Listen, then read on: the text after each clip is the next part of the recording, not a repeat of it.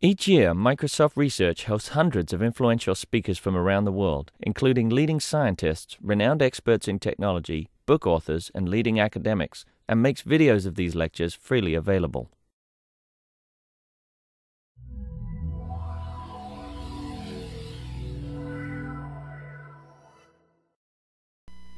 Okay, so good afternoon, everybody. Hope you all had a very enjoyable lunch and a look out at the Charles River in the sunshine. We put that on specially for you. And now we have a special announcement, which I'm not going to make, but I'm going to leave it up to Richard Minerich to make himself. And his talk is entitled F Sharp in the Classroom and the Lab. Over to you.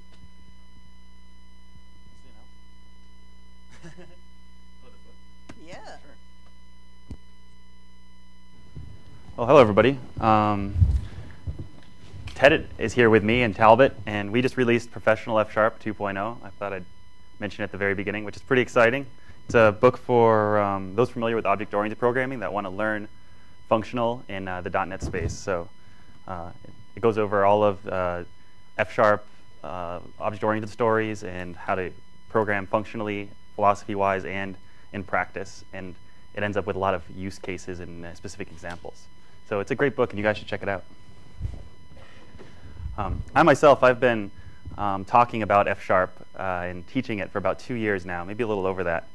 And uh, today I'm going to talk about a, my two most recent um, sort of adventures in F Sharp and how they went and um, how it applies to the, the classroom and the lab.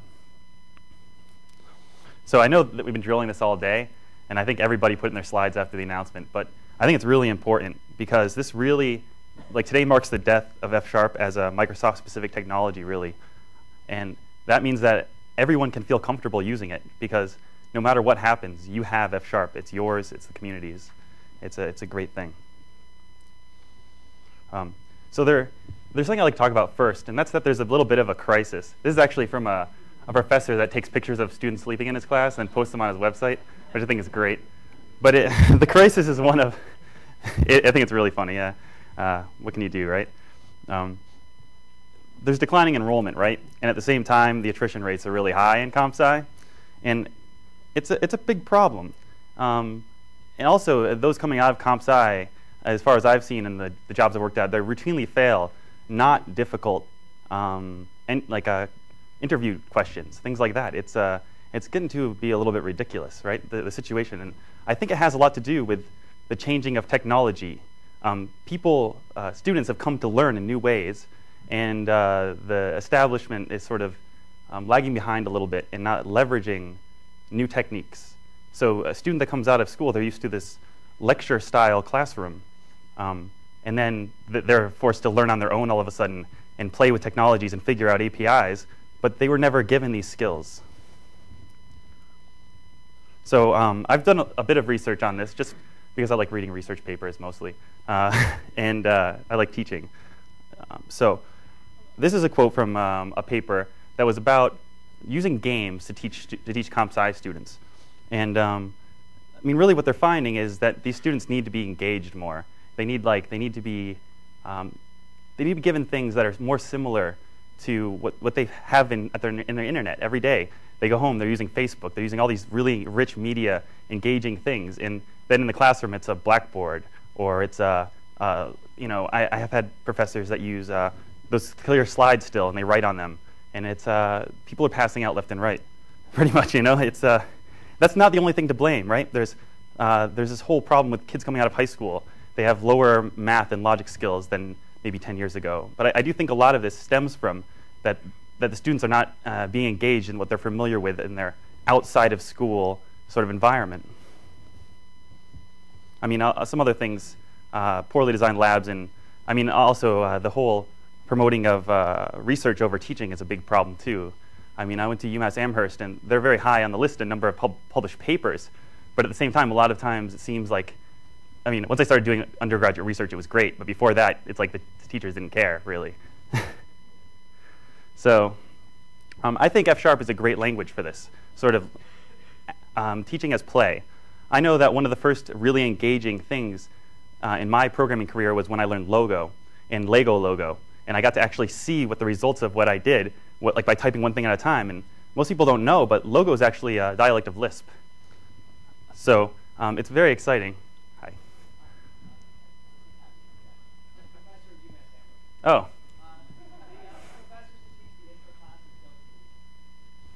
I didn't take any of the intro classes there. I transferred in. So, but anyway, um, I, I, really like a lot of the professors, and they're really smart people with a lot on their minds. But they they have, like I said, a lot on their minds. They're doing tons of research. It's pushed really hard, and um, so they they need to be able to recycle materials, and that's just the way it is. And it's good. That, and I think that these engaging um, non-lecture style classes can be taught with recycled materials in a very effective way. Um, so anyway, this try and see what happens this, this play is a, is a really good way to teach. And I, I recently have had some experience with this.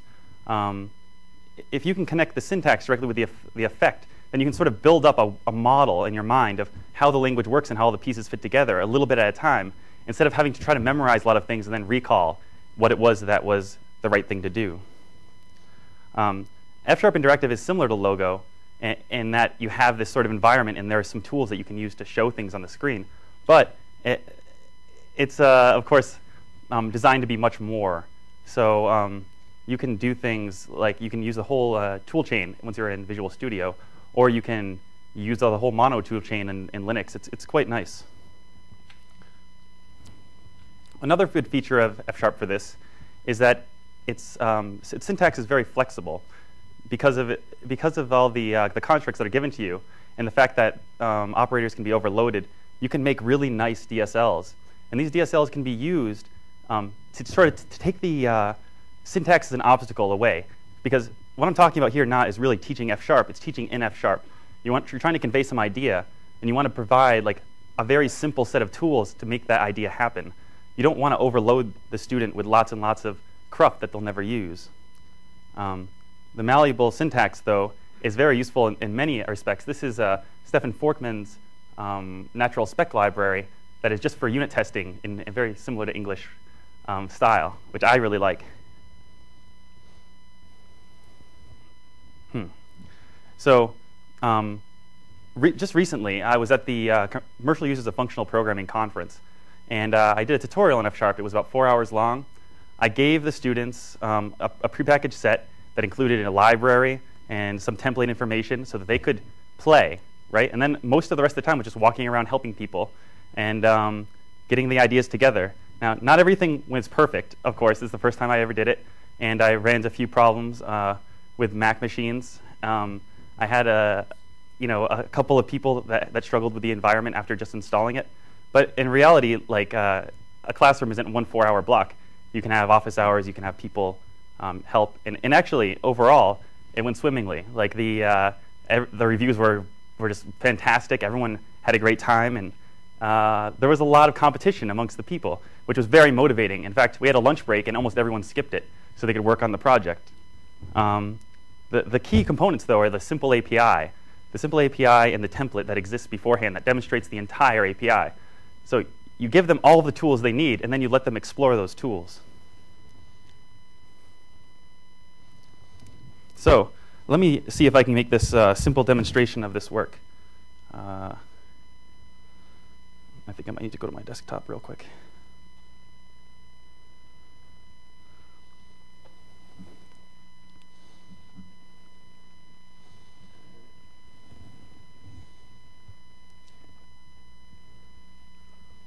Huh.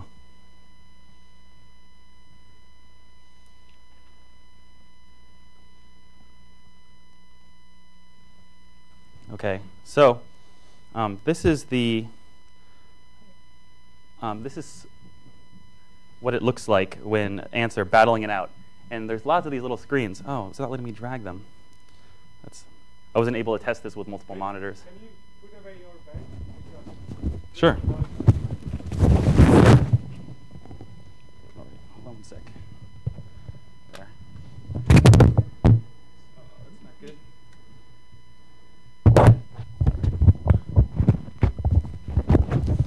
All right, is that does that work? Can everybody hear me? Good, good. good.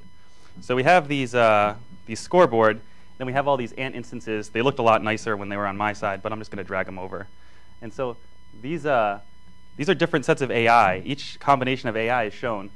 Each one of these windows is the exact same thing with, as what the students were given to play in.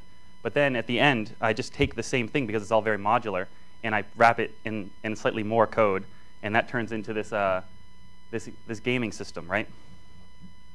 So they're competing against each other, and um, the ants pretty. The way the rules work is is you have to collect half the food, or there's 10,000 after 10,000 turns, whoever has the most food wins.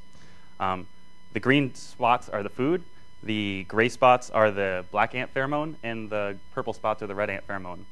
Um, some of these are AIs that I wrote just playing, and some of them are AIs that students wrote in that, in that test uh, in the, uh, at CUFP. But in general, um, most of them completed uh, that, that actually got going, and uh, everyone had a great time. So I'm just going to.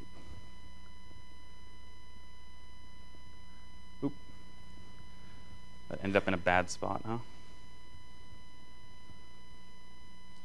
All right.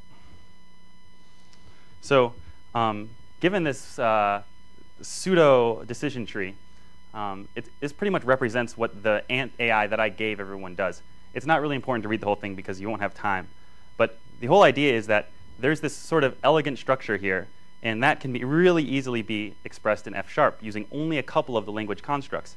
You don't need to use everything in the language, just the couple of parts that make for the nice sort of DSL sort of feel and that express what you're trying to, to demonstrate.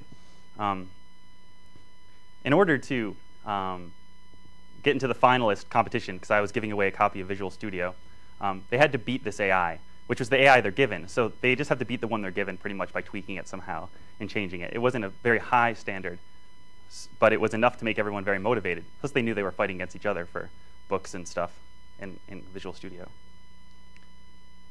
So in once you get to F sharp, it actually turns into a, a tree-like syntax that exactly mirrors um, what's on the other side. And this is mostly just through active patterns in, in matching, right? Um, you can kind of hide all that away, give them something really nice to play with. Um, but um, the logic is really easy to understand. In fact, people had never touched F sharp or OCaml there before, and they were up and running in no time. Um, the, the, other uh, great effect of this is you have immediate feedback without crashes because I gave them the tools to use in F sharp interactive. So they're running this in F sharp interactive. They can swap out the AI and see what their changes do. Um, so while this might be easy for a beginner to grasp, I also provide all the code for all of these active patterns and stuff. So people that were expert already or already had some experience, they could kind of dig in deeper and start looking at the other constructs. And I feel like that's an important thing in the classroom too. Because one of the biggest problems is that you have a very wide variety of skill levels in any classroom. Some students are going to go home, they're going to be passionate, and they're going to research the crap out of things. Other students, they're, they're there, they care, they do care, but they don't, they have other things in their life, they're not quite as passionate. So I think it's important to cater to both students. The passionate ones, you have to give the additional resources to do the work. You can't, it's not right to hold them back. At the same time, it's not right to just cut people off if they're trying hard, but yet they just aren't super passionate. So I've been thinking that a really good way to go about this, I have not implemented this yet, but I think it's going to be the next iteration of this contest, um, is based on continuous integration. So the whole idea in continuous integration is you have a server. It's a, it's, it's a source control server, and when people check in, that server, the, the check-in code, the checked-in code is compiled and then used somehow. Usually a test suite is run against it. This is a very common thing in the industry, and it actually makes your life as a developer much, much easier. But I've never seen anything like it in academia. So um, the whole idea here is, you know, the teacher gives you the hidden implementation in a template. Then you play in that, and then you have your spot in source control you check into. And then various things can happen at that point. You can have a test suite, and the, the student can get a grade based on that set of how many of those tests pass. Um, you could also have a contest where all these, these uh, this code is injected into the contest somehow. Um, one thing at UMass actually that I thought was really great in our uh, operating systems classes, we had something quite similar to this, but you would email your code in, and then it would automatically run, and it would just tell you how many of the tests passed, pretty much which ones. It has a list. You like this one passed, this one didn't. Doesn't say what they do, but it was really like uh, I never worked so hard in a class, pretty much. Uh, you know, I already had an A, but I still just wanted to get that last, like that last one. What was that test failing from? And it's a, can, it can drive you insane. but it's great that way, right? Um, but the whole idea is to give the students time to play and, and room to wiggle. You know, not like this is the right answer and be very rigid about it, but um, have a way for them to try to explore the space. And the, the additional benefit of the CI type in integration is that um, you can teach the students about things that are real in industry. And this is a big problem because the students come into the industry, they're not in academia in these classes, they're not using the same tools. Or maybe they're using tools from a few years ago, but it's not quite the same, right? But if a student's already familiar with continuous integration, maybe they're familiar with source control tools, they're familiar with unit testing, well, that's going to be huge when they go to interview. That's just like, uh, if it would be a dream to have a candidate that actually knew what unit testing was right out of college. I mean, it knew how to do it right, not necessarily knew what the word meant. I, have interviewed quite a few people at, at, uh, at, along, I mean, uh, several, and it just it gets kind of depressing after a while. I'm just saying. Um, so uh, what I think is automated systems, they, they take the work away from the teacher, right? They make, and students like these automated systems because they're similar, they're fast, and they're engaging, just like the video games they're playing in their dorms at night. So they have this fast response time, they show you what you're doing, and they, they knock you down really fast so you can keep trying. It's a sort of a dopamine reaction sort of thing, right? And then at the same time, you're, so you're giving this engaging classwork. You're doing less work because you're not maintaining the assignments. You've got a system to put them in. And then in the end, everyone wins because you have these students at the end that can actually participate in industry right out of school. So the other experience that I've had recently was doing some consulting for the company that I'm now working for. But this was actually, I just went as a consultant originally, and um, it sort of blossomed from there. Um, F Sharp has some really great properties for scientific computing. It's remarkably similar to, similar to MATLAB in syntax. It, it, it just looks really nice. And like people that are used to MATLAB can switch to F Sharp very quickly. Um, except uh, F Sharp deploys nicely as opposed to being a beast. And uh, it has types that protect you from, from doing bad things in units of measure. These, uh, these are very important, right? It also is much faster and takes less memory. So there's a lot of great things about F Sharp in this sort of environment. Oh, oh yeah, the tools too. We have things like Infer.net and Solver Foundation that can really be great. So this is a rather simple story of uh, it's a it's, so this is a this is a thing called the PEP list. It's the politically exposed person list. Uh, it's not quite a list. It's uh, something that's defined by the UN as someone who uh, is politically visible, right? And they, they decided in 2003 that if you're a politically exposed person, banks must try much harder when they must investigate you much more than the average person. This is a big deal because it put a lot of work in the banks. And so these companies started selling these lists of politically exposed persons. Banks are like the banks have to buy these lists, but these lists are like four million people long.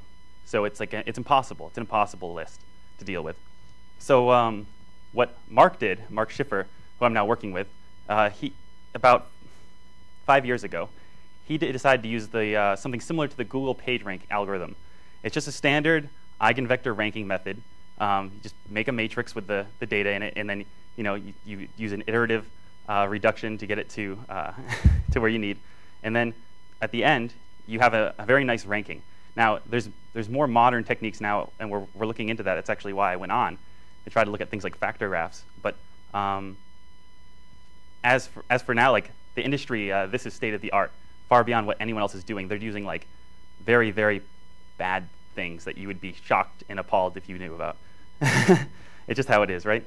So the end result is that banks can prioritize who they're looking at because they have buildings full of people whose jobs it is to investigate their customers, pretty much so that they don't get sued by, by the government or called in front of Congress and get yelled at or get like a $500 million fine, which has happened. Uh, it's a pretty big deal for them. So I know this isn't necessarily the best MATLAB, but these are actually what we started with and what we ended with, so I thought they were better that way. I actually I posted this on Twitter, and someone that was really familiar with MATLAB was like, that's terrible, MATLAB. Here's a much better example. But at the same time, this is really from the industry, and it's, it's what I really came across. Um, here, R is the rank, E is the external attribute vector, which just gives weights. Um, D is uh, just a convergence measure, measure, so you know when you're done. And A is a relationship matrix that has all of this, the data in it. Um, so this is an improvement, right? And I, uh, this slide is actually kind of a shout out to Don Syme because I love his pleasure and pain uh, C sharp slides. But uh, the issue is more of one of deployment integration. Because, like, well, maybe you can write better MATLAB, and maybe uh, this MATLAB isn't even that bad. MATLAB is really, really hard to integrate with. So what Mark was doing previously is he had a machine running MATLAB, and he would push and pull from SQL, and then his, S, his uh, C-sharp team was uh, writing against that SQL. Later on, he had them convert his, uh, his MATLAB into C-sharp, but then he couldn't read it because he's a researcher. He doesn't know C-sharp or object-oriented programming. And then it ended up being a bunch of errors because the, the, the programmers didn't really understand what the MATLAB was doing. They didn't fundamentally understand what the algorithm was for and how it worked. So there was a big mismatch there, and I've seen that in many places in the industry now. And I, am sure it's happening in academia in some places too. Like you have uh, your undergraduates, researchers, or your graduate researchers maybe write something in Java while you use a different language or MATLAB to interface with that, and maybe they implement something incorrectly because they don't fully understand what the algorithm is supposed to do. So this is a bit one-sided, but this is my experience with MATLAB. really, F-sharp has a lot going for it. Um, it's very fast. It's, it's, uh, it's, it's specific in terms of its types, so that you can be sure that you're correct. It has general purpose tools, which are great for data mining. Well, MATLAB does beat it in some ways still, because there are a lot of great tools in MATLAB for different types of engineering and such. So that's definitely something that uh, I don't think is going to change because those tools uh, cost a lot to develop. But if you're not using those tools then, and you're just doing some simple uh, number manipulation, then I don't think it's that big of a deal. Uh, there's a very easy deployment story. Everything just integrates nicely in, in, in F sharp uh, to C sharp and, and uh, elsewhere. But like, but the, the so your options with, with MATLAB are like COM. You can use COM. You can use this nice uh, interface that wraps. It runs like a little mini G JVM inside of your uh, inside of your uh, .NET. It, it, they're all slow and, and bad, and and like the data transfer back and forth is not good. So um, the, the F sharp story here is really great, and especially the the tool chain, because you have a lot of things like uh, fast matrix multiplication libraries out there, and lots of vendors making very good tools for .NET. Um, finally, the the biggest thing that I think is the integration between researchers and development. Because on one hand, you have researchers who don't really understand this object-oriented code, and then you have the developers who don't really understand the algorithms, and then you put them in different rooms and they don't talk to each other except when they're angry. it's, it's a bad situation, right? So in this case, I think that F-sharp can really bring these people together because if you're already a C-sharp developer, F-sharp is within your grasp. You can learn it. It's not that hard. It really isn't. And then if your, if your researchers are writing in F sharp and your, your programmers are also writing in F sharp, or maybe some C sharp too, everyone understand what's going on. They can actually talk about how things work. And I, I think that it really will remove that wall between research and development.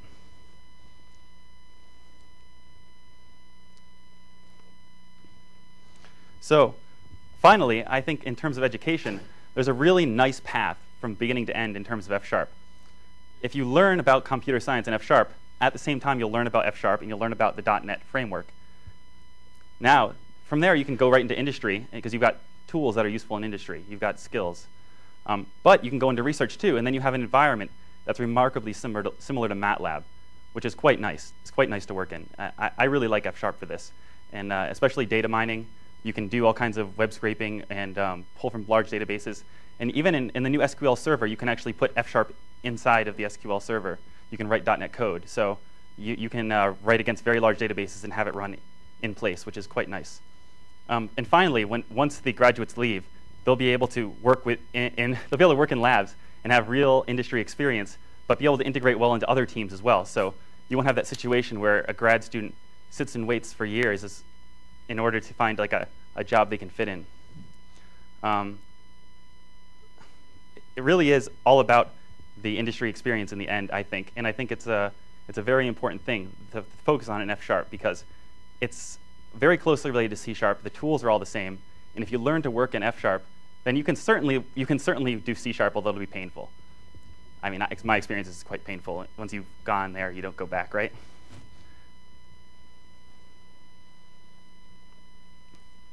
So finally, I'd like to, to mention um, here in this building every Monday, um, around 6:30, the F Sharp user group, the New England F Sharp user group meets.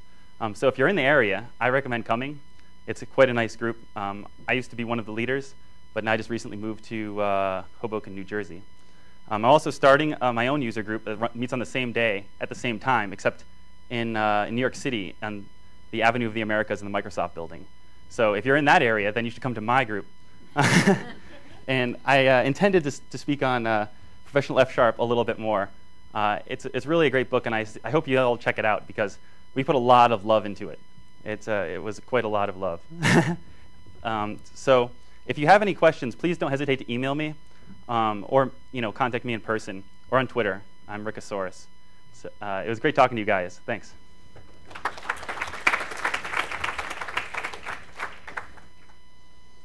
Thanks very much, Rick. Uh, we had a request that speakers should use the mic, so questions.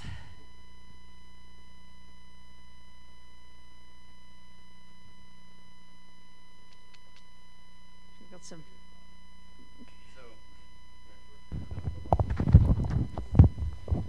So you don't want like yeah, Bayard Rock is actually the where the Battle of the Bulge ended and we defeated the Nazis, which is great. But the company is a brand new company that's focused on bringing um, cutting edge machine learning technology to solving certain types of problems inside banks, mostly around ranking risks. Not, not risks in actually the products the banks have, but more along the risks of customers and potential, um, not like, are you risky for a credit card, but it's like, you know, um, are you a drug kingpin? Are you a terrorist? Things like this. These are important things because um, one thing that Mark did recently that actually has caused him quite a lot of drama and partially started, caused this new company to start was that at the former company he worked for, he, he used this PageRank algorithm and he found a bunch of terrorists on the, uh, the TSA, uh, not the TSA, the, you know, I guess it's TSA, the, the, pilot's license list in the United States. So a bunch of these 9/11 uh, involved terrorists still had their pilot's licenses in the United States. And uh, he found it, and then, of course, they kind of stonewalled him at that point. But, um, you know, he was, and then a bunch of things happened, and he decided, well, he doesn't want to risk this other company that's owned by his father that he used to work at. He wants to start this new one. And so I decided to come on because it sounds really exciting and fun, you know. And he likes F sharp, so it's total win. Any other questions? Okay, well, with that, thank you again, uh, Rick. And uh, maybe we could just ask are the other authors of the book here? Are they gone? Ted? Oh, Tom is right there. Right. Is Ted here? Okay, so now you know who's who's one of the other authors. Great. Ted Ted slipped out, but he might be back. Okay, so our next speaker is Peter. Peter Sestoft from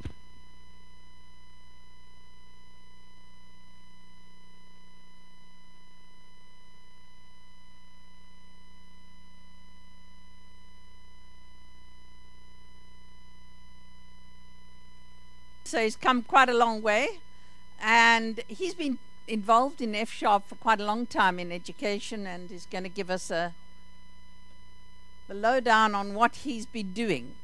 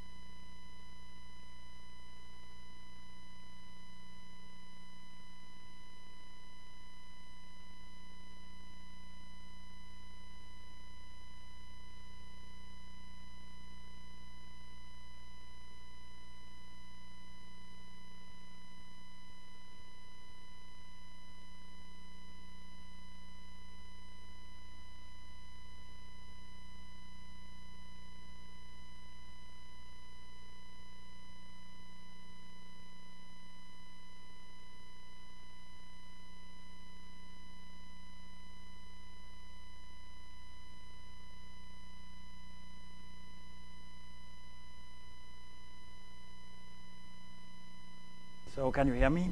Okay. So um, I'm, uh, I'll talk uh, briefly about a course I'm, uh, I've developed uh, teaching programming language concepts uh, using F Sharp. Um, so the course is uh, called Programming, programming Language Concepts, the, and it's for undergraduates in software development, not computer science. So it's sort of a software engineering course. And I'll talk about the course goals, the concepts I teach, some examples from the course, and the experience using F Sharp for this purpose. But first, a few words about myself. Uh, so I have a background in programming languages, especially partial evaluation many years ago, and now more interested in end-user software development and uh, technology for that. Uh, I've done some open source stuff uh, uh, back in time, uh, notably Moscow ML implementation together with people in Moscow and Cambridge, and a collection library for .NET and some books uh, it's hard to read, but this is uh, Java precisely and C Sharp precisely. So also some object-oriented SINs and an annotated version of uh, C Sharp standard version 2. so the overall course design here is that the students are on the fifth semester in this software development education. They already know Java and they know C Sharp well. They have done big projects in both of them. And they've learned a little F Sharp at this point when they take the course. And the goal of the course is to uh, actually give the students a stronger understanding of the tools they're going to use in that job, namely programming languages, and uh, in particular these uh, so-called uh, what you could call modern mainstream uh, languages. so they should be good, uh, should be able to get make more effective use of their their primary tools. Also, they're going to work for 40 years or something like that and they'll be inundated with new technologies and new uh, tools and stuff over those 40 years, and they should be able to recognize some continuity in in uh, those tools, so they don't believe that everything that's new is good, or that uh, it's actually new because many things are based on old uh, things. So in the course, there's more more less focus on the classical compiler topics like uh, different grammar classes and decision problems for gram grammars and so on, and re register allocation in uh, code generation, and more focused on uh, sort of high-level concepts uh, like uh, using bytecode, virtual machines, stack machines, types, continuations, and so on. Um, and also some focus on history. Uh, actually, that much new technology they are seeing is quite old. Um, so um, I start with a sort of uh, genealogy of programming languages, and there may be 2,000 languages missing here, but uh, but you know it starts with Fortran back in uh, where I go, and uh, then you can put it into various classes. That's sort of what you call call the old mainstream here, uh, the C and C++ and Fortran and so on. They are of course still being used. There's some huge uh, class of mostly academic languages with many, many good ideas in them. And then there's what you could call the new mainstream. And some of the point is that the new mainstream, especially the new versions of Java and C Sharp, contain a lot of ideas from the academic languages, notably garbage collection and uh, parametric polymorphism. And you see F Sharp and Scala are sort of outside these. I can't really decide whether these are part of the modern mainstream or whether they are still academic. But maybe the point is that both of them actually belong to the modern mainstream because they are so closely related to this class as well. right, and so the course, uh, content, course contents uh, is a brief uh, list of topics here, abstract syntax, stack machine, bytecode, lexing and parsing, interpretation and compilation, garbage collection, continuations, types, and program generation. And these can be detailed in various ways um, especially uh, by working on some homegrown stack machines and uh, also explaining how the JVM and .NET uh, machines, explaining the design and the bytecode of these machines. Uh, talking uh, briefly about lexing and parsing and of course regular expressions and automata and grammars, but only as tools, uh, not in a theoretical way. Um,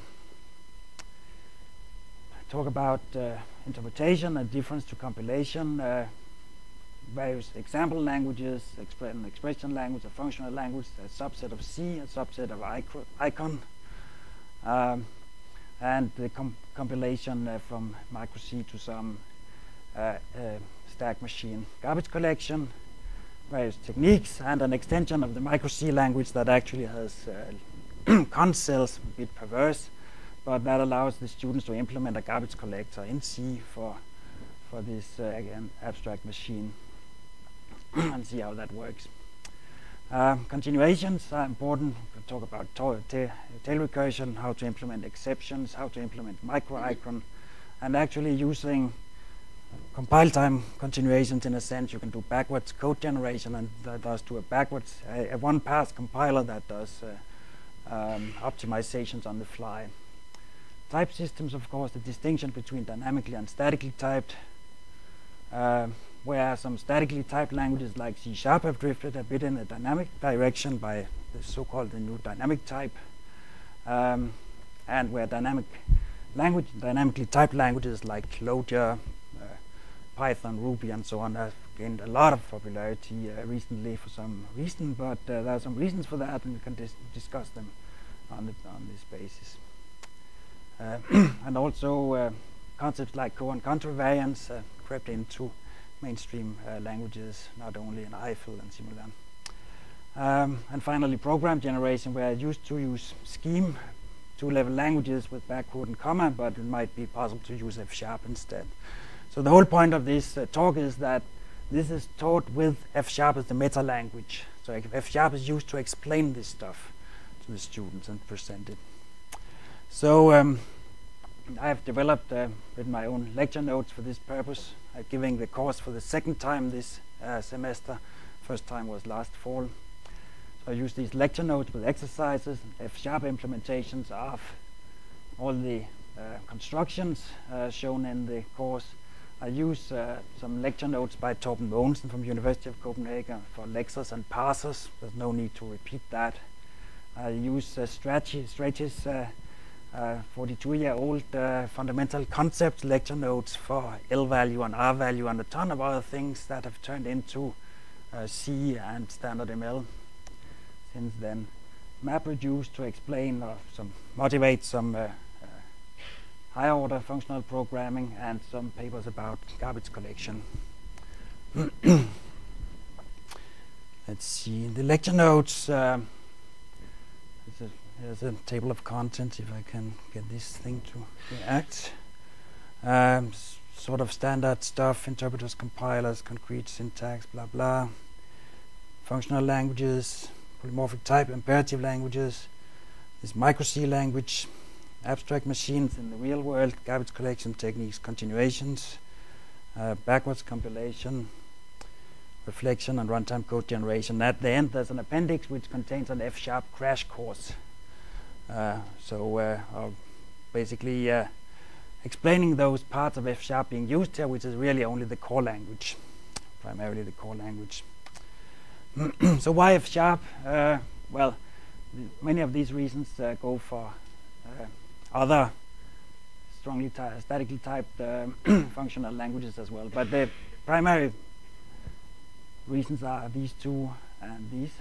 That in F sharp and ML and so on. The abstract syntax can be uh, represented by algebraic data types in a very compact way, and then interpreters, compilers, uh, uh, optimizers, and so on can be written using pattern matching. So that's no surprise there at all. Um, but that's a reason for doing it. Uh, and also types on interpreters and compilers, especially those interpreters that use continuation style. The types uh, present a lot of information about what the evaluator does. F-sharp comes with uh, lexer and parser generator tools, fslex and fsyacc. Uh, so uh, you can do the lexing and parsing inside the same uh, thing.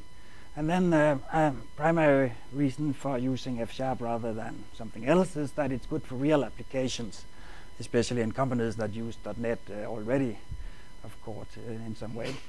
so some students from previously working in a company have using F-sharp basically to to translate uh, queries to SQL queries and uh, run it on, on databases.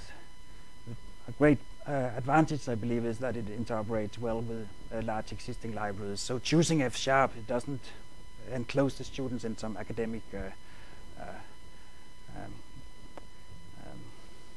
special purpose language. and it works uh, reasonably well on all these uh, three platforms. The students have lots of different platforms, running Linux on Macs and other bizarre things. So alternative choices, of course, Java, which the students know extremely well, so it would be maybe a better pedagogical tool, but it's uh, rather sad. Uh, so far, no functions and certainly no pattern matching. C Sharp is another equally well-known uh, language to the students. Uh, it does have uh, functions, uh, lambdas, so-called uh, lambda abstractions, but still no pattern matching. Standard ML is an, the language I used previously for this sort of thing, using Moscow ML, MosML Lex, and MosML Yac. It's a very neat, beautiful language, but it's for all intents and purposes a dead one, and means that the students will have a hard time taking the constructions they learn using that language and just immediately use them in some other, other code. And uh, OCaml is a much more live language, but still has some pro problems integrating with other code and uh, are not many books and sources on uh, OCaml introductory programming. Scala is a language that gets a lot of attention in Europe uh, these days. I don't know about the US. Uh, it does have functions and pattern matching, um, and a very beautiful integration between the functional and object-oriented uh, world, and it works on the Java platform, so integrates well with uh, other things. Uh, but it would be new to students. Uh, on the other hand, it's somewhat less vendor-bound than F-sharp, but since yesterday's announcement, announcement uh, F-sharp is even less vendor-bound than it used to be. My um, a practical reason for choosing F-sharp is that F-sharps, FSLex and FSYACC are very close to those tools, and so it was quite easy to migrate all my examples to, to F-sharp. So uh, you really know this already, but let's see, look at it anyway. Why pattern matching? It's uh, because it's so easy to implement, uh, express both the abstract syntax and the manipulations of the abstract syntax. So here's a functional representa uh, representation and interpretation of simple expressions with variables like these. If you do it the same in, uh, in uh, Java or C Sharp, it would look like this. With subclasses, an abstract superclass up there, and three subclasses, and, uh, and eval methods here, and virtual dispatch. It's only uh, three times as verbose, um, but that, that's not really the problem. Uh, Worst thing is that it scatters the action of the interpreter over all these classes. So whereas uh, you could show this uh, thing on a slide in when explaining the interpretation of uh, expressions, constants, well, just evaluate to themselves, variables are evaluated by lookup and so on. Um, that quickly gets pretty horrible if you have many different syntax classes here. it's not like uh, I hate oh abstract syntax. It's really quite useful. So here's from a completely different uh, project using uh, C Sharp, roughly 11,000 lines of code, and here's the somewhat impressive uh, abstract syntax representation uh, used in that uh, uh, that piece of software. And the good thing about this, of course, is that you can have small hierarchies. Say here that an expression is an abstract concept here, but one of the Another abstract subconcept is uh, constant expressions, and then you have different kind of concrete constant expressions. So if you want to do partial evaluation on this sort of thing, it's very nice that you have a co common concept of being constant over here. And similarly for all the strict operations, those that evaluate all the arguments have a common superclass, whereas the non-strict ones are uh, siblings to that. So this is actually quite useful and uh, a very concise way of uh, presenting uh, the structure of a, a, large and complicated piece of uh, software. But uh, for the purpose of teaching programming language concepts, I uh, think that the important thing is that the students can um, can understand that this way of doing things using algebraic data types, recursive ones, and uh, this way of doing it uh, using abstract uh, superclasses, inheritance, and virtual dispatch are exactly the same thing done in two different styles of language.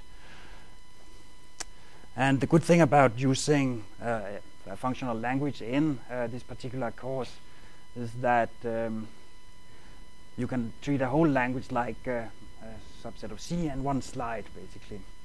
So well, the, the biggest language they see in the course that, that they treat using an interpreter and compiler is um, a language called micro-C. it has arrays of point arithmetics and so on, which is basically the core of, of C.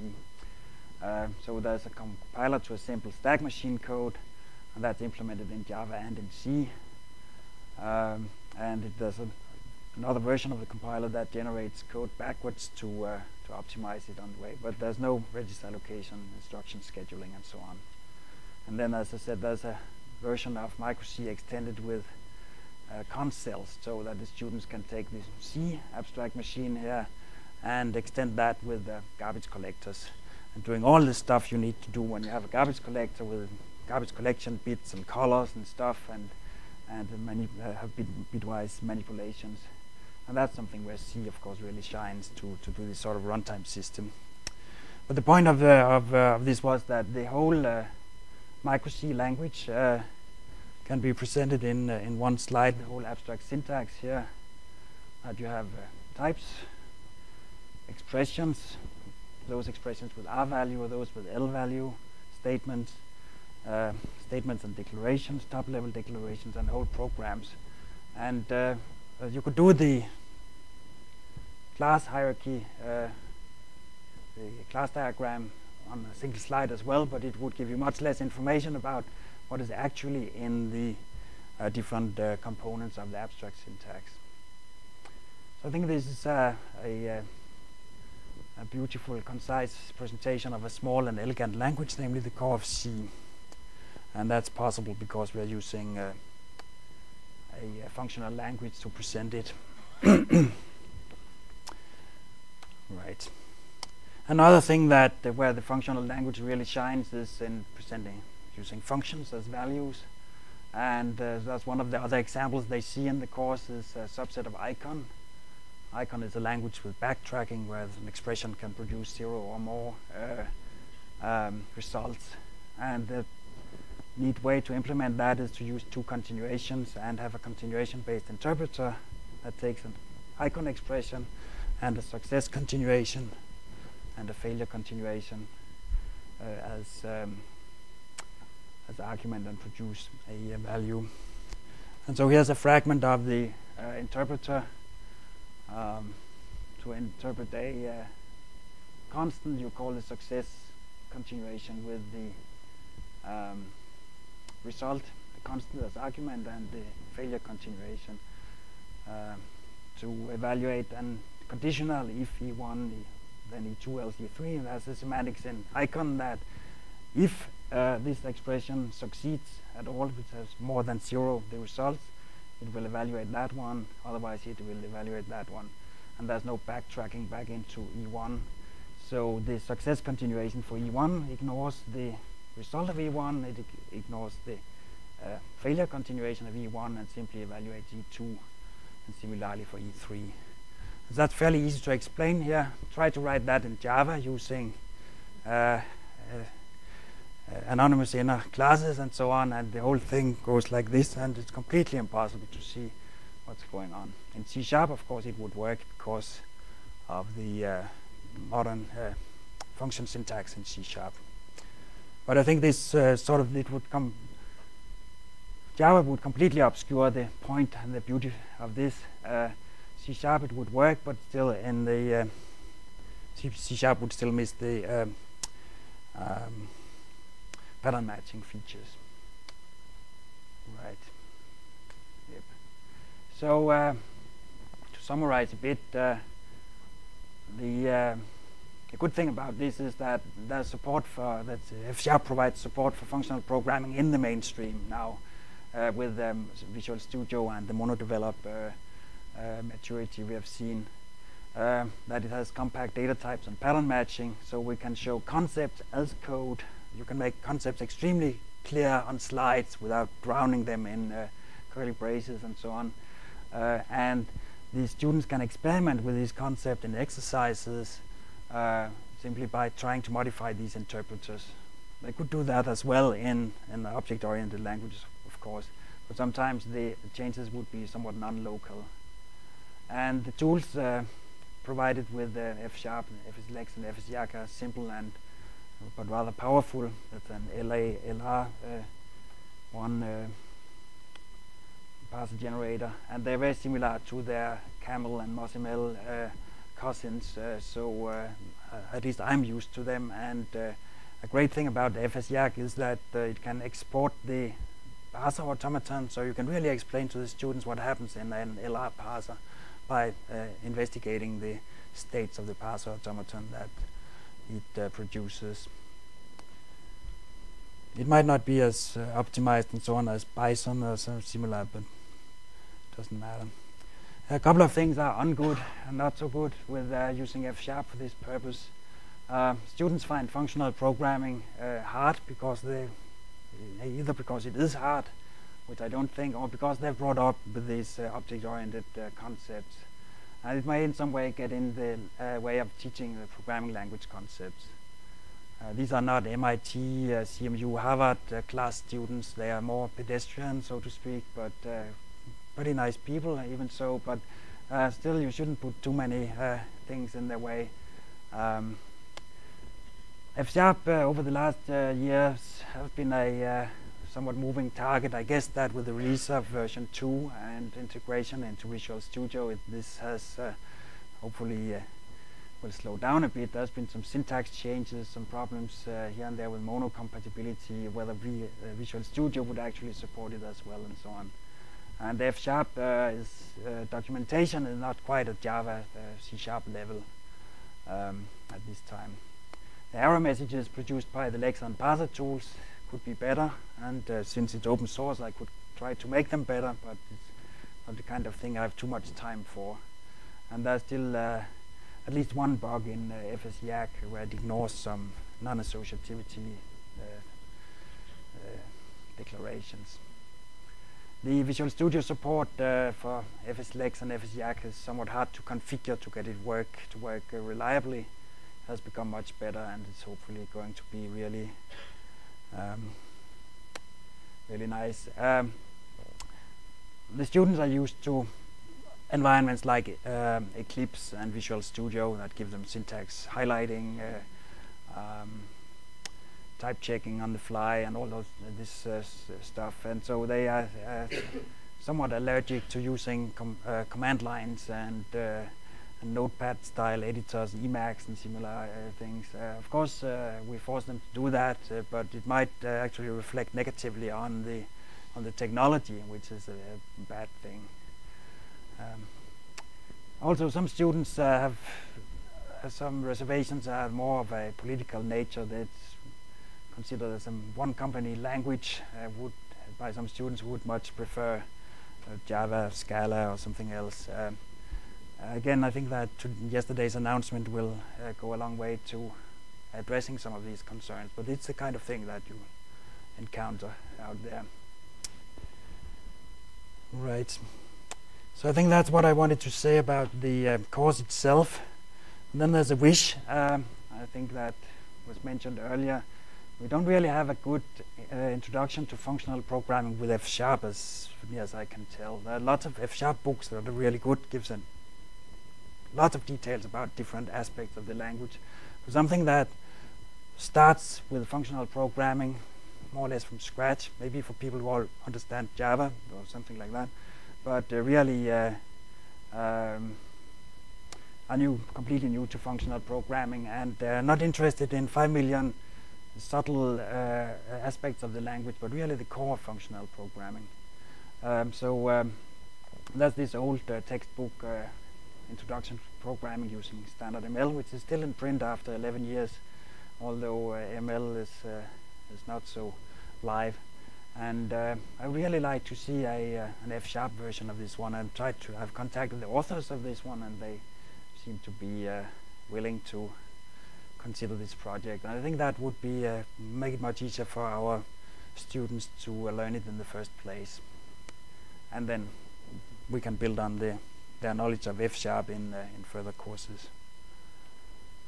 So um, the course uh, I'm talking about has a homepage, uh, the le uh, lecture notes and with exercises and so on are on the web. And here's Torben Mogensen's um, uh, lecture notes where we are using chapters 2 and 3. Uh, MSDN Channel 9 recorded a video where I talk about this course a couple of months back.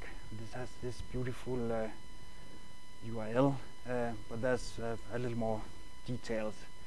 if uh, uh, personally I'd much prefer uh, reading this stuff than looking at this video but some people apparently like videos a lot. Um, actually a couple of years back I presented this design for this course in a um, workshop, SIGPLAN workshop. Um, and an interesting thing is that maybe at the time I suggested using C sharp as the meta language, not F sharp, precisely for the reason that uh, choosing I think F sharp wasn't perhaps uh, as mature at the time, but the motivation for choosing C sharp was that whatever tools I would teach the students in uh, the course, they should be able to go and use in a job. And that's now true of F sharp, so I think that that's great progress. So I changed my mind there from C sharp as a meta language to F sharp. Okay, thank you. That's uh, what I wanted to say. Well,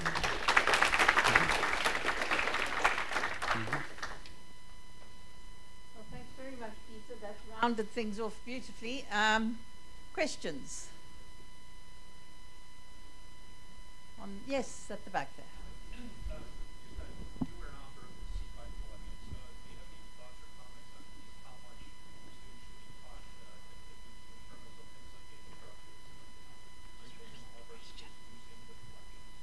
Uh, Right, so uh, so you say, I, as you noted, I, am an author of the C5 uh, collection library, and the question was how much should the students uh, learn about the internals of these uh, things instead of just using them? I think they should definitely, uh, uh, like they should know the internals of their programming languages, programming languages, they should know the internals of the data structure libraries. So we, are, we have a, a, an algorithms and data structure course where they learn this sort of thing. Uh, but uh, still, the libraries, of course, are extremely valuable because they give a standardized uh, interface to things, and uh, yeah, uh, you don't have to reinvent the red-black tree for the 215th time. Um, and there are lots of things that are very, very easy to get wrong in uh, in collection libraries, for instance. But I think it's, it's very important that the students, as like engineers who build bridges, should know about structural engineering and the properties of their tools.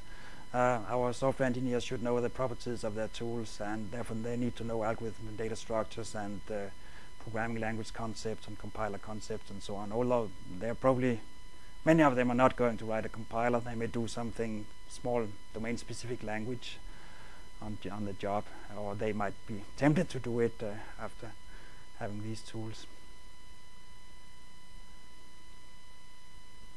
Mm -hmm. Okay, well, thanks very much, Peter. And uh, we'll have more questions, of course, now.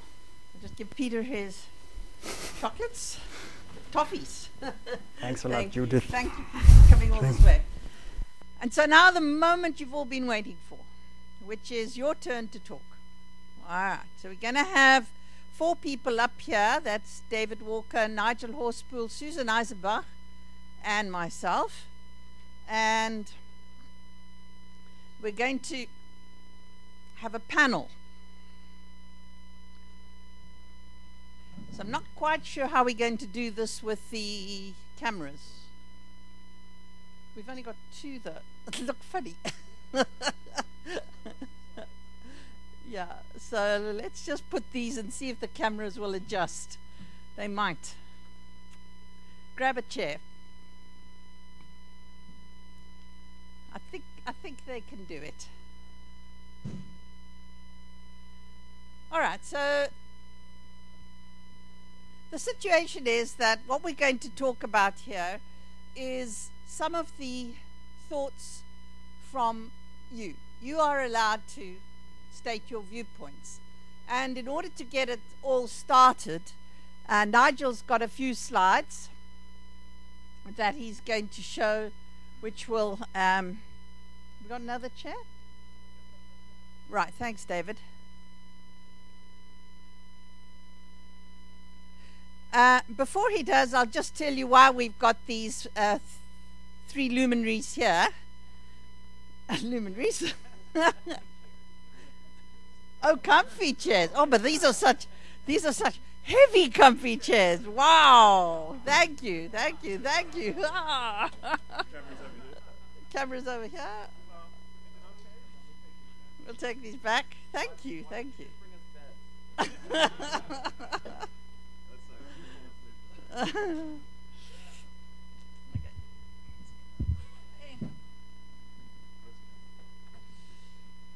All right, so somebody's going to be standing, which will probably be me.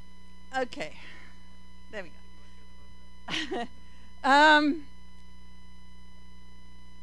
round about in July, my, my group decided it was a good thing to start supporting F Sharp in education. And one of the ways we were going to do this was to ask people who we knew if they would like to work with us in producing courseware for Microsoft. So we asked various people, uh, some of them are sitting on that side and weren't in a situation at the moment to do so, but David over here and Sue said that they could help us out, and they've been uh, diligently doing some uh, courseware, which they're going to tell you about, hopefully, and about their experiences in doing so.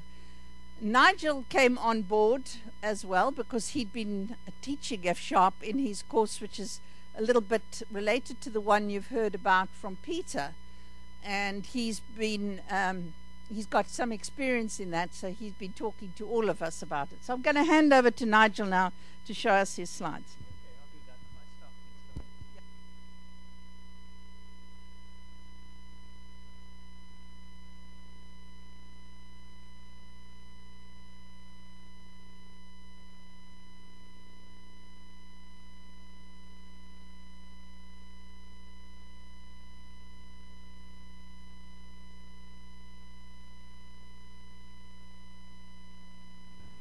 On yet? Okay, great.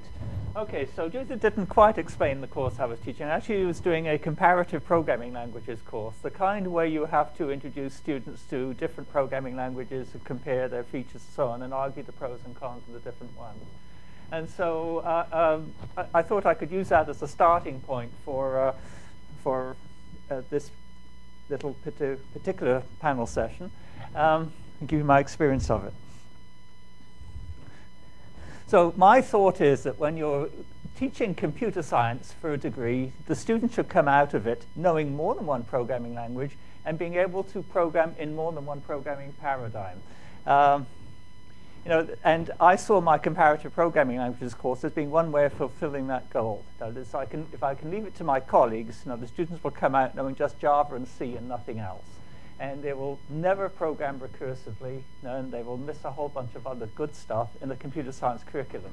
So I took it upon myself to rectify a big hole, and uh, and um, I, I uh, sort of I think I did a pretty good stab at it. But anyway, let's try and sort of set the scene. So I, I just uh, the other day looked and searched around to see, you know, what were the programming languages actually in demand for computer science graduates these days.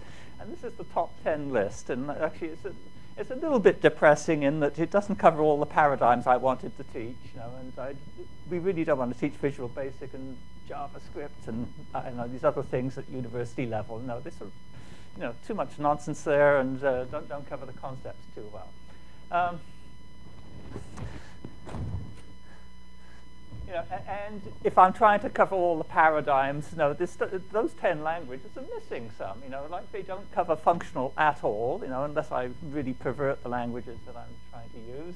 And concurrency isn't really covered there either. You know, again, you could do some libraries to get some concurrency, but the languages themselves do not directly support it.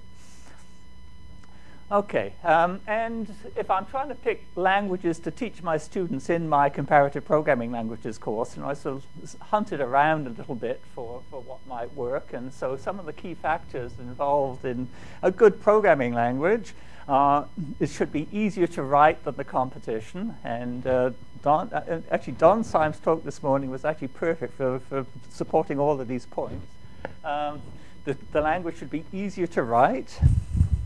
Uh, and examples of that would be that you make fewer declarations while you're writing the code, and you don't have to fill your program with lots of extra logic to uh, handle um, garbage collection, you know, freeing up the storage you're using.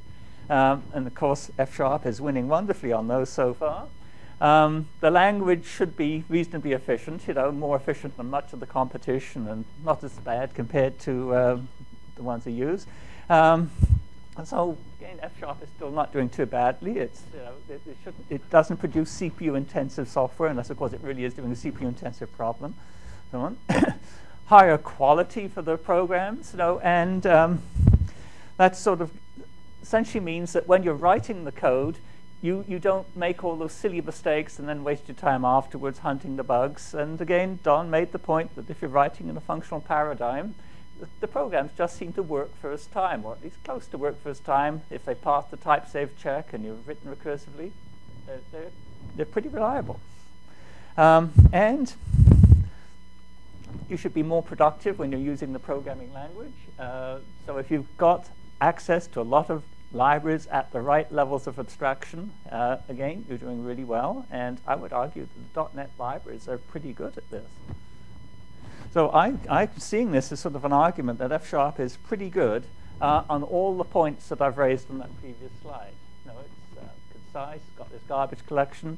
It's JIT compiled to give you efficiency at runtime, so you can rely on all the work that goes into building the .NET framework and, uh, and the, the common language runtime. It's absolutely fantastic.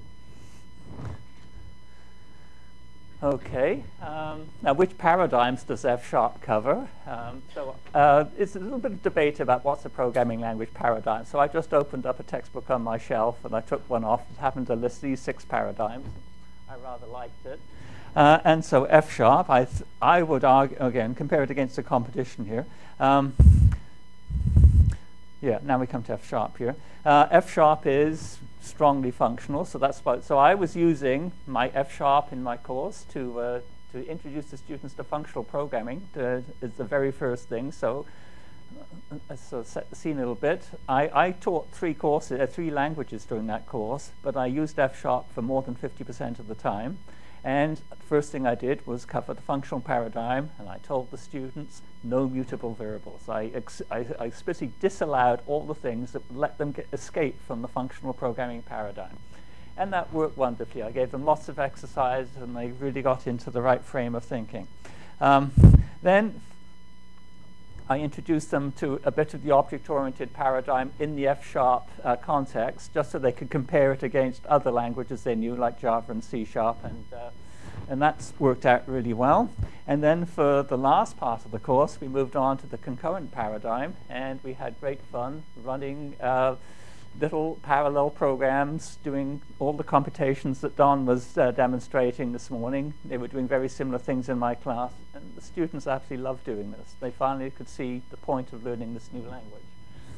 Um, and just to complete the story, uh, th there is an imperative paradigm supported in F sharp, but it's not the reason why I wanted to teach it. You know, it's probably not the right language for doing imperative style programming anyway. And all we're missing from this list is the logic paradigm, for which you probably the only one language out there that's really you know, as good is Prolog, maybe, and scripting, uh, which I will have to leave to another language like Python or Perl.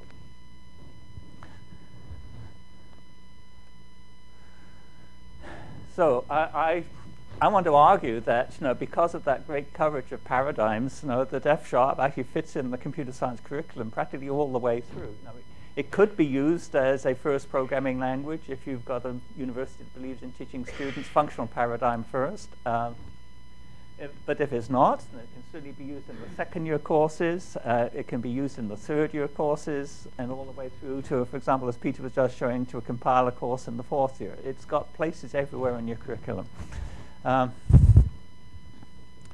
so, covers three of the six paradigms really well. Um, I'd say that it meets all our requirements for a teaching language, and the students can see that it's giving them skills to go on to a great career as a software developer. That is, you know, they, they're getting exposure to the .NET libraries, and even if they're forced to use C Sharp in their industrial job, they still know how to do things. Um, and I'd say at the moment, the only big deficiency for this being a uh, hardcore teaching language is sort of a lack of materials. So if we had an introductory textbook, we could use it in first year. If we had um, the book that actually was just being demonstrated to you as being able to transition from object-oriented to uh, to functional, then maybe that would fill in for a, a later later book in the series. And there were my references, so that's the whole thing. So. I'll let someone else carry on now. Well, maybe you want to ask me questions. Thanks. Yeah. Um, well done, Nigel. Yeah. Oh. So, because actually uh, Nigel didn't put a yellow box around first here, and we do have our two panelists yes. here, I'm going to let ladies go first, David, and ask Sue to speak, and then David, about what they've been doing in their courses, which is actually very different. So, Sue.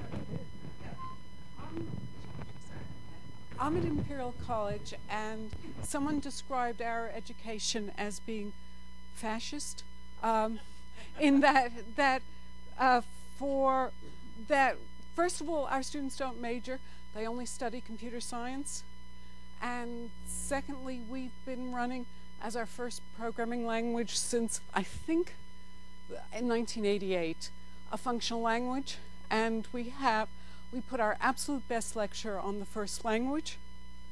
And um, we've changed the syntax of the language from time to time as that was appropriate, but the actual course is remarkably similar to what it was before.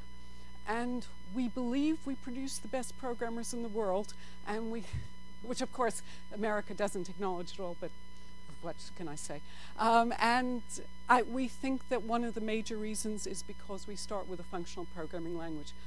When I first went to Imperial in 83, about 90% of the students who came in knew how to program, and we're now running at 50 to 60%, so times have changed. It was an unpopular subject in 83, it's a very popular subject um, now. But one of the main things that a functional programming language does is it levels the playing field. It levels the playing field completely, and it teaches that writing clear programs is both hard and undoubtedly worth doing. And I don't know how, if you start with Java, you can teach people that sort of elegance is something that's desirable. It, you just can't do it. Um, so I think that, and we're looking now, I mean, we, we teach Haskell.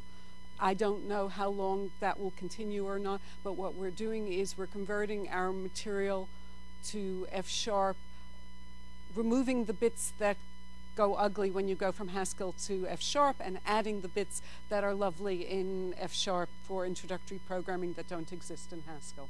We're doing a trade off now, and I assume they'll be live from Microsoft in a few months' time. I think so.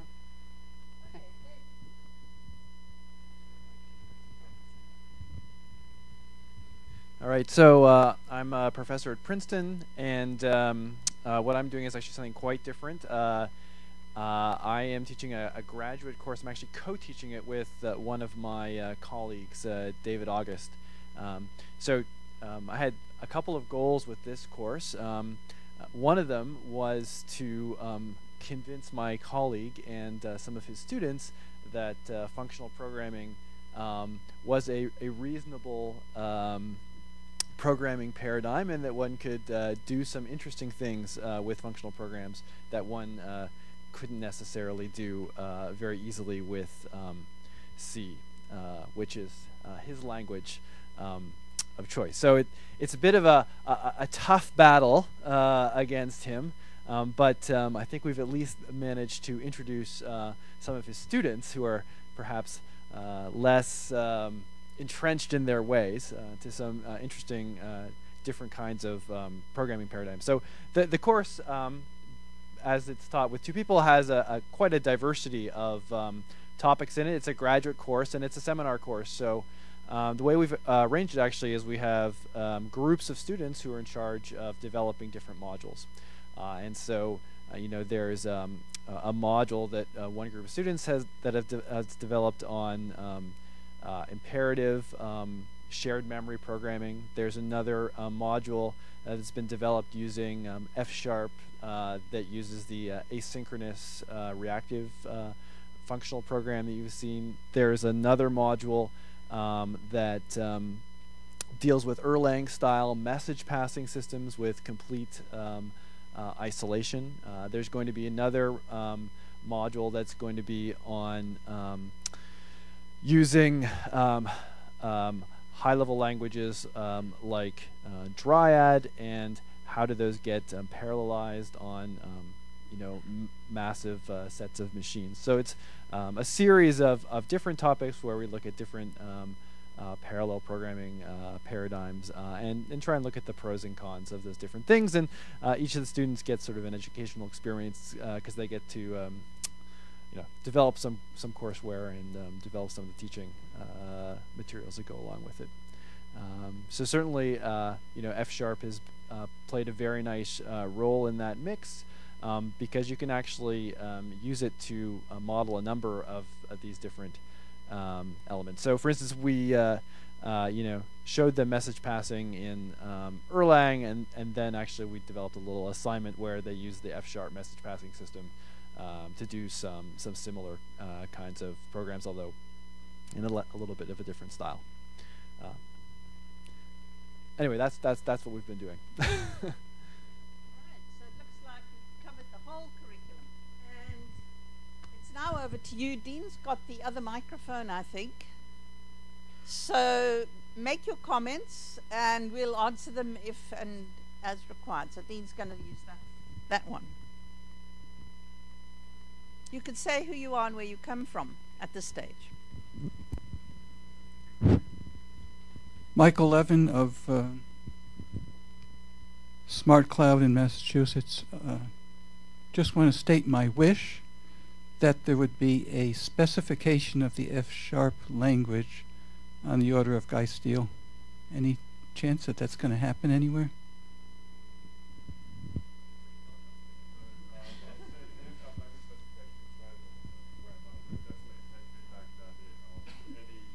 inadequacies in that spec, the document we Well, uh, the only spec I found is a grammatical spec. Uh, no, there's a specification on the search for Google for or what it, Google for F sharp language specification, it'll come up with a 200 page PDF. Or so. Okay, I will look for uh, it. it. Now, there are some inadequacies in that document, and we, are we not, it's not hard to get a specification of any language you know, up to the level. There's many people in the audience who worked on that. No, we love your feedback on that. And uh, we actually have Penny here, who's has uh, where's Penny? Yeah, who is uh, has been helping to copy edit the spec, give it a good glossary, give it a good index, and is now you know diving right into this really doesn't make sense. This bit of the technical de- sort of detail, and you know she can help to, to help following feedback, and I can help with that as well. So that was a great question, and uh, I'm glad we filled that hole. Yeah. Okay, over here, Dean.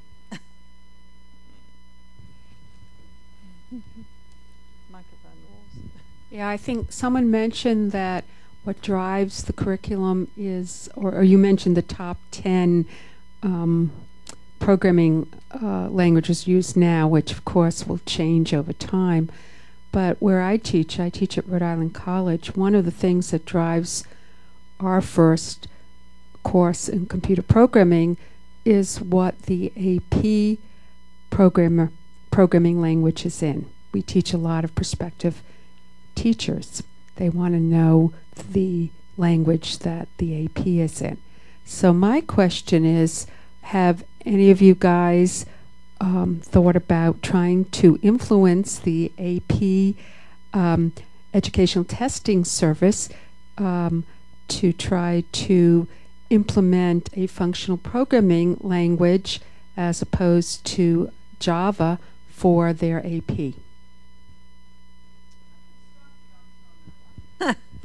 um, as of this year, the AP is changing their their requirements away, hopefully, away from Java to language agnostic. This hasn't been decided, but they've got at the moment five pilot projects going with five different languages, one of which is C sharp, and the others are Python, etc., etc., but then doesn't include F sharp.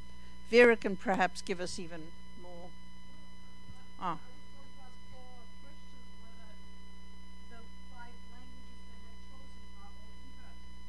Well, they didn't choose them specifically. These were volunteers who volunteered to do it. The the I think it's almost an impossible task. They they're going to set up an exam which is language agnostic. Ow. Um,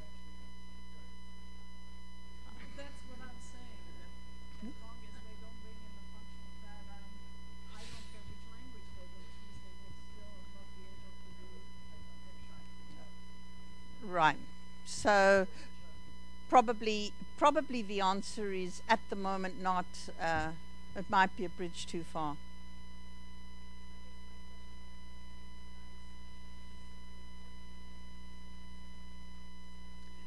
No. Well, do you work with the AP people?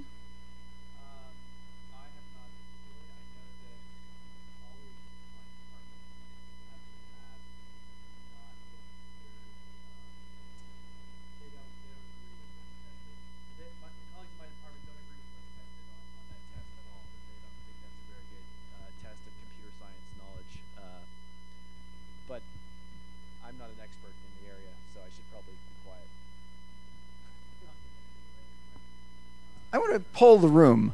Um, for those of you at universities, um, does your university actually accept AP computer science scores to test out of one or more courses?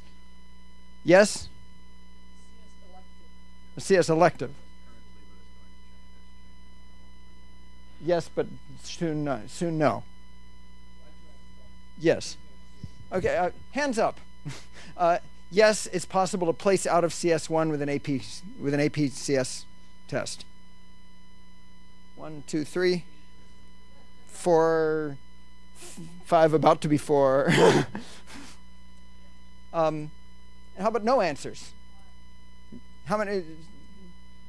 Yeah, colleges that do not currently allow you to test out of CS1 with an AP score.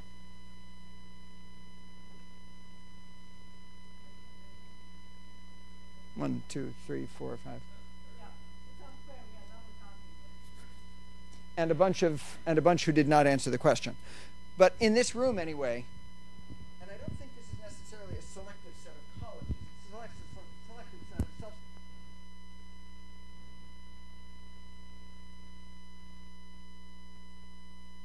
In this room that do not accept APCS scores at all than that do.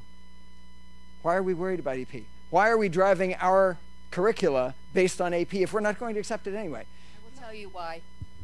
It has nothing to do with the colleges, it has to do with the high schools. And even though my um, son did not get any credit for the AP, he wanted to get them for the prestige and also uh, so that select colleges would look in favor of it. So it isn't to get the college credit, it's get to get a course that is prestigious.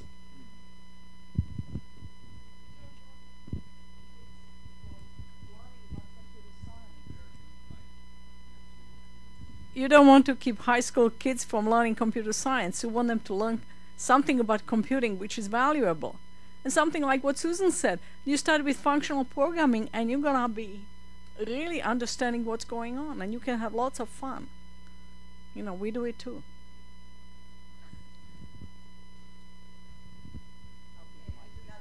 Question over there.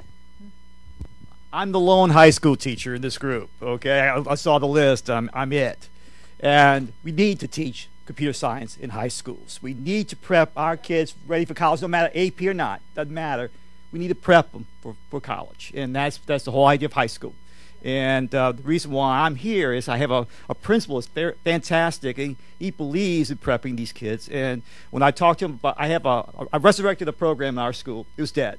I resurrected the program. Is now I have kids joining it. it. I use Java because Java was easy to start with, and now I have a, the ability to start a second level course. And that second level course, I want to introduce these other paradigms to show the kids that this is now one language. There's so many of them out there, and show them some comparisons. And I was going to use a nine weeks block to maybe show F sharp, and another nine weeks block to show another language, so I can show some comparisons to these kids, so that when they come out of high school, go to college, they can make an informed decision of how they're going to approach computer science. If that's the, that's the uh, career of their choice.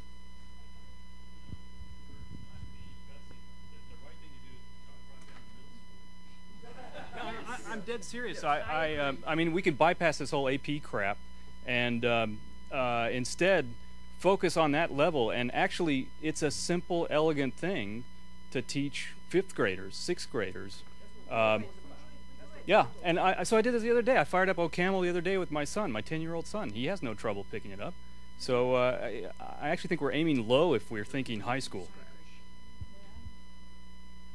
Uh, well, I'm trying not to be too pushy for Teach Scheme, but we have a program called Bootstrap, which is teaching functional programming, introducing interactive games to kids in Boston Ghetto after school programs for sixth to eighth grade.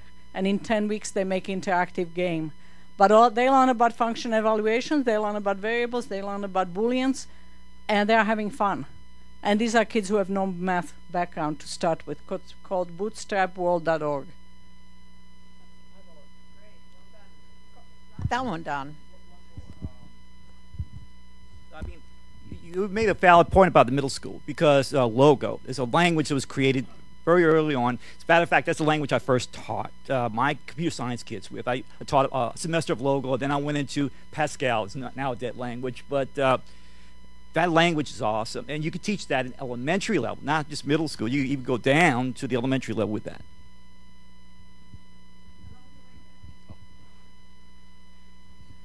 Uh, hi, my name is Tatiana. I'm not a teacher or educator, and you, I'm a programmer. So you know, programming is a huge job market. So the question teach or not to teach should not arise. You have to teach as early as you can. And it would be great to include this in AP. People should get credit for their job, for their abilities. So it should be. it should be.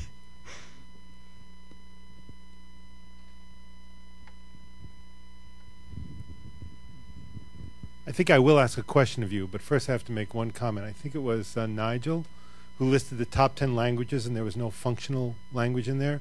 I would disagree with you. I think JavaScript is quite functional if you use it that way, not the way it's usually used. Right. Okay. Anyway, normally nor Yes, yes. Normally a panel consists of people who disagree with each other, I think, and I don't see that here. and it makes me think about, you know, why isn't Microsoft pushing, you know, the was it ETS, isn't it, that does the AP exam? Or is it uh, have I got the wrong organization? Yes, the Educational Testing Service. But I don't know if Microsoft could push this because they'd be pushing F sharp and they'd be seeing that they'd be seen as doing something to their own corporate advantage unless they teamed up with people supporting other functional languages, you know, and, and said, we don't care which one, but we think this is good, you should use it. Any comments on that? I, I can give you what's happening in uh, all the corporations at the moment, and, and Microsoft is happy to be just one of those. Uh, the ACM started about 18 months ago with a big uh, push uh, to get um, computing in the core it's called. Some of you might have heard of computing in the core, CNC. If you Google or Bing for computing in the core, it'll come up. And this was because two senators uh, rose, uh, had a bill. And the bill came up and it was passed because I think probably people weren't looking. And um, the, this bill has now been passed that we're going to look at having computing at the, in the core of the curriculum because at the moment, even if you do take the AP exam, it counts the same as woodwork or art for your final credits in uh, your, your final exam in K 12. So they're going to change that now, and they've produced this fantastic booklet which is uh, came out on the 6th of November, and you can get it online. It's called Running on Empty. Okay, you look up running on empty, you'll find it. And it's all about, uh, there's for every state in this country, there's a table which lists how badly every state is doing on how they are teaching computer science in schools and how far we have to go. And now Intel, Google, Amazon, IBM, Microsoft are all supporting this effort to change things because we need to feed the pipeline of people who are going to be our future employees and the employees of people like your company and Smart Cloud and all the rest of them. So there is a groundswell, and and these these places like the ACM are also behind it, and there are people in the policy making world as well. That doesn't really affect F sharp, so maybe we should change the conversation a little bit.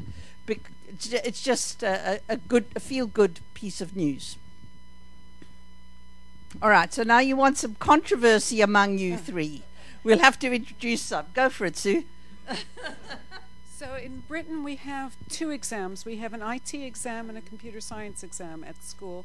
And the computer science is probably like your AP. It's sort of old fashioned, reasonably standard material that uh, I taught in the 70s.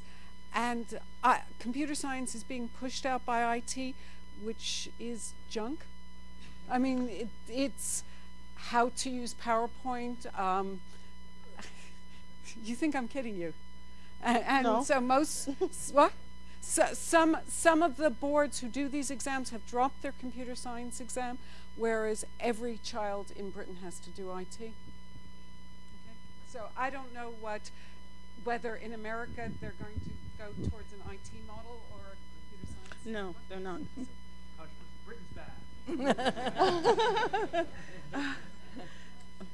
Okay, can, can I? Yeah. Well, before you start, can I ask a question that uh, I want to get some answers from, and and Rich can speak as well, and that is, we'd like to cast your minds back to the morning's talks a bit, and also to the implementation things. One of the reasons why um, Microsoft, in particular, dived into some of the work they've been doing recently is that they felt that the barriers to adoption of a language like F sharp were the fact that it could only be used on Windows, and so much of that has changed. And so we'd like some impressions as to whether you've appreciated that change and to, and to whether it'll actually make a difference. I mean, does that matter to people in this room or um, so on? Yeah, good.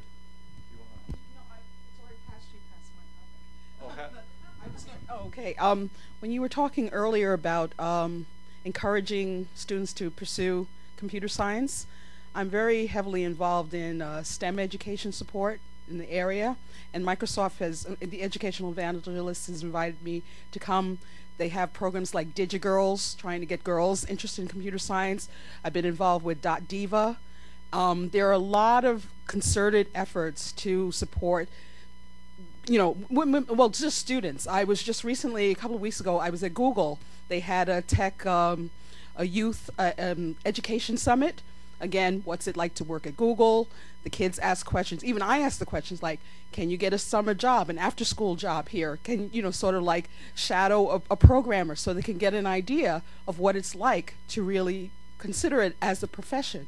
So there are concerted efforts. I happen to be an MIT alum. I did my degree in computer science and business. I know what I'm, I'm what 20, 30 years ago, it was wretched. Now it's fantastic. And I talk to the kids and I say, there's just no excuse. There are so many opportunities now and support, like some of the things you mentioned, to support the kids to pursue it as an, um, a viable option.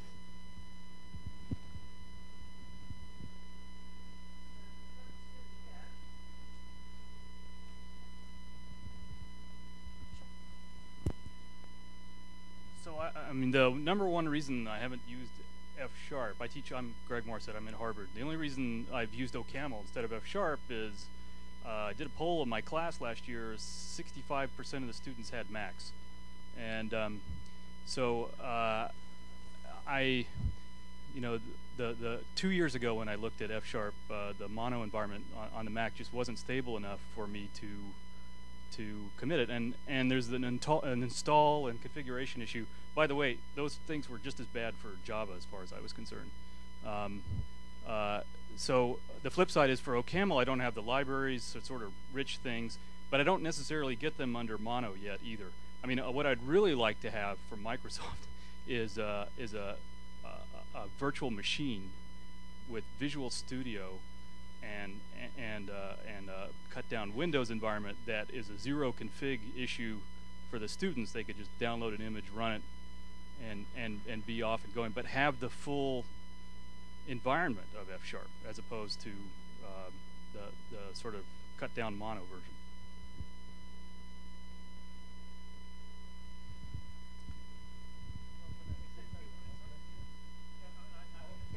Nigel. My students were running on Macs and Linux systems as well, and had no problems whatsoever. You know, they just installed the latest version of Mono, and it was good enough. You know, it didn't have quite all the libraries working exactly the same, but it was went up to the level of my course with no trouble at all. Yeah, you know, so. Well, well, similar. Yeah. Well, I, I've actually I have two experiences. One, um, my uh, graduate students have um, Linux boxes, and and you know they figured out how to you know download Mono. They had install a little patch or something. They got it to run. The tech staff at Princeton trying to install um, F sharp on a cluster of you know maybe non-standard. I don't know some version of Linux I'd never heard of. They had they basically have had trouble uh, doing that and haven't been able to get it uh, done. So I, for a grad class, um, you know, it, this worked fine. For a large undergrad, like first year class or second year class, I think uh, it well uh, for Princeton's environment, it's not quite there yet. But it sounds to me like there's been some improvements, and um, potentially, you know, in January we'll see uh, we'll see what's what it's like. So. Um, just to say a few things about the improvements that you mentioned, uh, there's a project called fsxplat.codeplex.com. Uh, there's a link on the functional dash variations, variations website. And the project attempts to provide um, packages for Linux and installer for Mac. Uh, I didn't show it in my talk because it needs to be updated to the yet to be released version of F Sharp. But that should be done by tomorrow or something like that and the the install that makes the installation procedure really smooth. Um, for Mac, it's just like clicking next, next, next in the installer. Um, on Linux, it's doing the Linux equivalent of clicking next, next, next. Um, so that's making it really easy to install F Sharp on on uh, Mac or Linux, uh, running on on Mono, um, and uh, hopefully the installation procedure for MonoDevelop plugin it's going to be exactly this, well, as simple as, as possible. And that's quite recent thing that hasn't been too much advertised before. Uh, so I think that's that's partially the, the answer to the setting up process.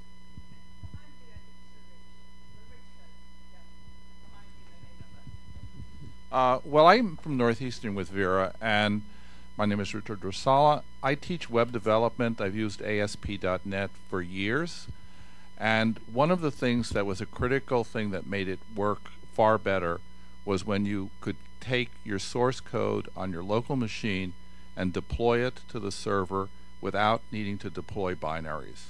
And once you did that, the server would take care of the recompilation by doing a just in time compile. And it reduced the number of bugs tremendously because students are always forgetting to deploy binaries. I've been asking around, and it's not clear that you can do the same with F sharp, that you could have a C sharp basic web project, but have F sharp code and get complete binary free movement of that code from your local uh, laptop to your server. And without that, it's going to impede the use of F sharp tremendously. So I would argue that that has to happen, that Microsoft has to step up and allow multiple languages in the app code directories and compile them cleanly and have no need for any binaries on either the local machine. The binaries are hidden in faraway directories and they get recompiled on the server. Then you could really see how much web code could be taken out of C sharp and compressed by the same factors of three or four we've seen in the slides, and people would stop doing most of their code in C sharp. C sharp would be wrapper code, and all of the algorithmic code would be F sharp. but Microsoft has to step up and support it. And I would further argue that once that happens, the freshman course could be web development, not standalone desktop development.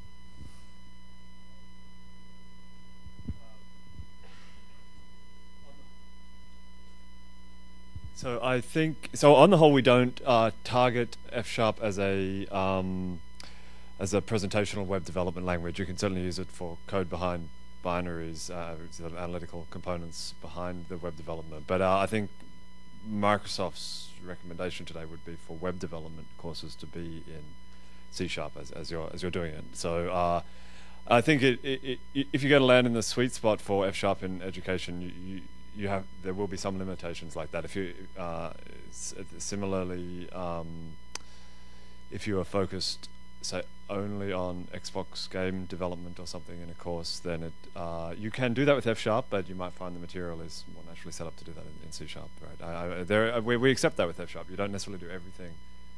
We don't. Yeah. So there's some things we explicitly say. Yeah, C sharp would be the main game for that. But I've heard your feedback about making sure that there's a compilation-free cycle for web development and I understand that, that what a difference that makes. I think technically you could make that work, but with if, if in the F Sharp PowerPack um, CodeDOM implementation. But uh, we can talk about that offline. But just say I, yeah, and I the the point about a web development course being a, a first course, I think is an interesting one that people should seriously look at. I, yeah, I think not enough people are being taught web development in a uh, I know there's somehow there's something like F sharp opens up a possibility in the longer term to teach uh, web development from with a slightly cleaner, more principled kind of way. WebSharper might be an interesting thing for people to look at in that context. Uh, it's uh, it's basically coding JavaScript, but you're coding it in F sharp instead, right? So um, think that could be a very teachable system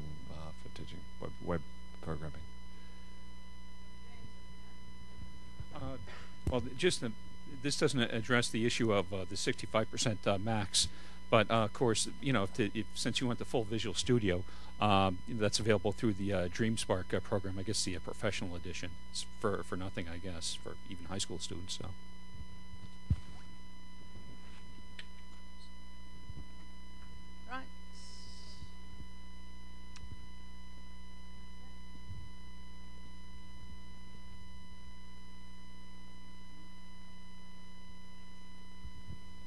Uh, I'm, I'm, does it work? I'm Bob Harper from Carnegie Mellon. I just wanted to mention a couple of uh, points about us at Carnegie Mellon. We've, uh, my views, I think, are a bit of a dissident here for, with respect to a lot of people. I've been advocating functional programming for a long time, and we have been revamping our introductory curriculum in particular for using uh, functional programming as a central uh, concept of teaching computing. And we completely ruled out using F Sharp. It's not possible for us to do this. And there are a couple of reasons for this. One, the principal one is the lack of modules. The most important thing about functional programming, from my point of view, is to be able to write down a signature and using ML terminology, for example, for a data structure like queue or a dictionary or so on, and to talk about multiple implementations of the same signature and the same piece of code satisfying multiple signatures. This is completely absent, and it's a, a it, for me, it's a complete showstopper. The second thing is that uh, someone mentioned earlier about the need for a semantics. I would add to that, because of our emphasis on parallelism, the need for a cost semantics. Need, you, you, have to be able to write down a program and analyze its complexity, as you do in a data structures or algorithms course, for the code you actually wrote, not in terms of some fictional idea about how it's compiled. And for this, you need a semantics. There's no cost semantics. It could possibly be done for F sharp, so that was a, a plausible a plausible pathway for us, but it, at the moment, I think it's not there, and it's something that is very important. Third thing I would say is a more advanced level. Uh, we've been teaching for about a dozen years now. Uh, our we have a like many places do a programming languages course. I will just throw in my my my own view, which is I am dead against the idea of a programming languages course that consists of a tour of the zoo. I think you learn nothing useful there. There is a comprehensive theory of programming languages in which all of the concepts that are important and can be carried over to new languages and to other situations can be explained in a completely uh, independently of going through and saying, oh, there's this language, there's that language, or look at this weird guy, oh, let's do that strange thing. That, a, to me, is a bankrupt exercise. And so F sharp has, has no role to play at that level either. So what we found is although we're very strongly advocating functional programming, in fact, we're pushing it all the way through our curriculum, it, uh, uh, there, at this moment anyway, there's no use for us for F sharp.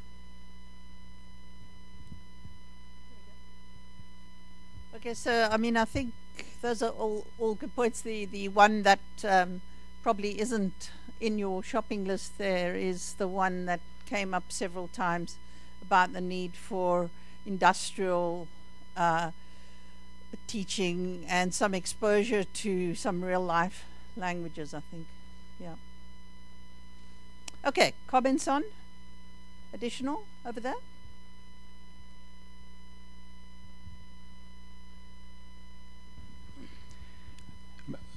My name is Chris Sutton. Um, when you teach a like F sharp as a first language or use a functional language, what are the like uh, specific ten- good tendencies or behaviors that you see in in students that are learning that way, as opposed to students who would learn with an object-oriented language or something like that?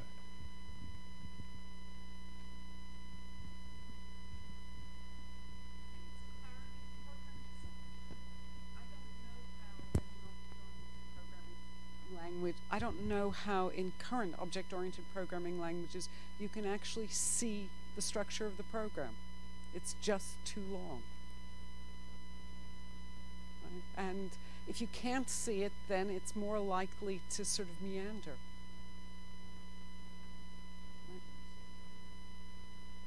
Well, you saw it in all, all, all their sides. To just well, there's only so many lines of code I can keep on in my head. If it's all on one page, I can understand it. If it goes across eight pages, I may have lost concentration. Um, and it's very hard in something like Java or C Sharp to say, I want to see the algorithm clearly. You just can't. It's, you know, even if it's as clear as you can in the languages, if it's not in a functional language, I think it's very hard to see it. There are other languages that you can. I mean, in Python, you can see the, the algorithms quite quite clearly. So it's not, I don't believe it's only functional languages, but to get students to value writing clear, concise code is hard. And that's one of the things you want. It's one of the main things you want in a first programming language. Um, you know, um, the goal of a first programming language is that sort of, for me, is any problem I can solve in a hundred lines of something all the students in the class can solve somehow. And I don't know how you get that in in other languages. So I'm not looking at a web thing as the first language. I want my students to be able to choose the right data structure, choose the right algorithm for the problem they're solving.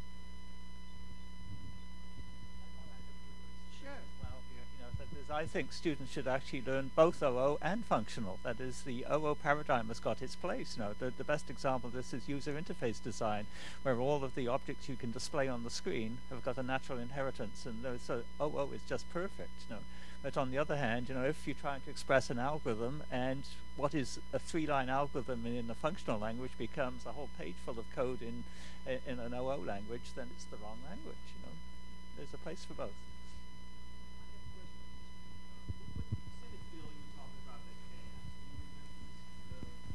I'd have to look it up, yeah. yeah. Sure, sure. We'll send out a newsletter at the end of this uh, at the end of this meeting with collecting all the the things that have been referred to. Sure. So one one thing that seems to be emerging as part of this discussion is sorry. My name is Ted Neward. And I don't I don't teach for anybody. Well, I used to do a lot of corporate training, so I guess that kind of counts. Um, one of the things that uh, that I'm hearing is sort of a, a dichotomy, uh, two divergent goals from universities, and certainly from guys like me who go out and do corporate training, which is one goal. I want my students to understand the conceptual theory behind computer science versus the goal of I want them to be productive the day they hit whatever company they're going to work at. And I guess one of the questions I would ask is are these mutually exclusive goals? And if not, then for example, how is a student who has learned, you know, scheme going to find a job?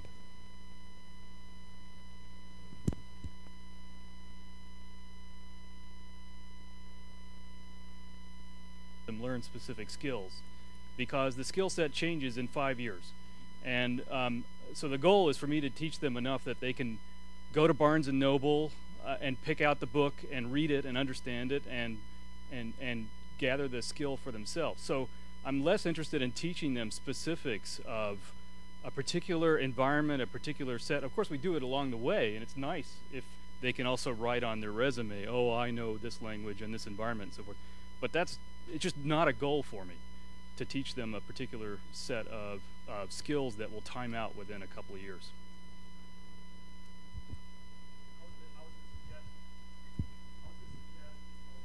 we need to do both. We need to teach concepts and then the prevailing uh, languages at the time and expose to as many as possible and show the interrelationship between all the languages.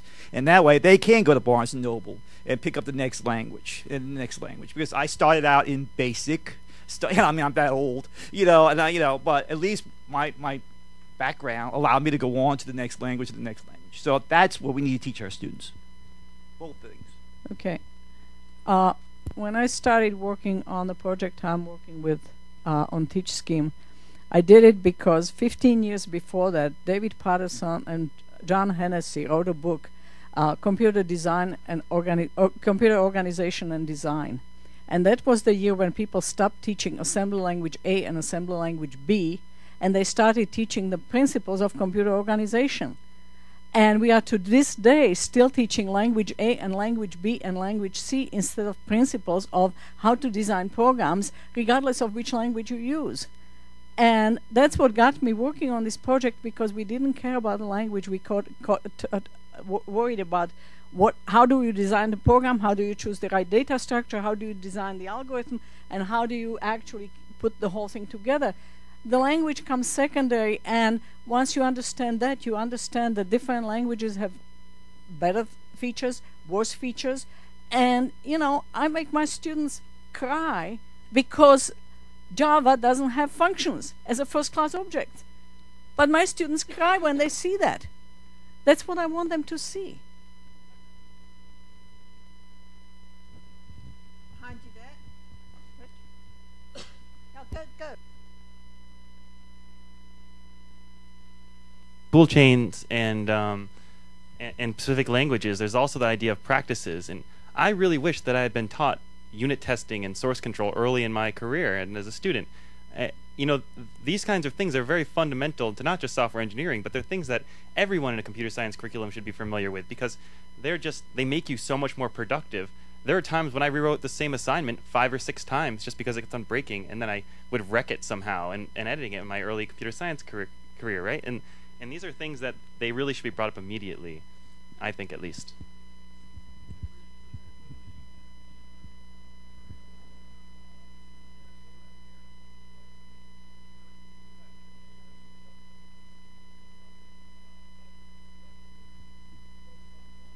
Just just um, first of all, it's it's it's thrashing because I, it would mean that every year I would be updating the course to do the the latest, hottest skill set, um, as opposed to drilling down to the to the conceptual issues. So so I think we have to be very careful about that stuff. Well, one of the things I fin- find very interesting about F sharp is its support of multiple paradigms. So you don't have to go out of the language. So that if you want to do an object oriented style, you can use it when it's appropriate in the language. One of the problems I've had with Java, and which Viera's course has been resolving, is the idea that Java has to be done in a very particular way, and that the only important concept in an object oriented language is inheritance. You almost have this idea that if it doesn't involve inheritance, it's not object oriented. And frankly, I find that stupid. I mean, the one of the things that objects do is encapsulate state if you want to have mutable state. Or you can encapsulate them in a hidden way so that they're immutable and then deal with functions based on that state. Another thing that object oriented languages do is allow you to find purely functional functions. Static is forbidden in most courses, but static is essentially a function that has a functional language behavior. There is no extraneous state in the function, and you pass it parameters, and it does a computation and returns a value. And you can do an amazing amount of functional programming in object oriented languages if you simply follow the paradigms of functional programming by passing parameters and computing results. So I think that there's a not only is it bad that many schools are teaching Java, they're teaching it in a very narrow minded way. And one of the things that would be good with F sharp is that people would start to see things more flexibly.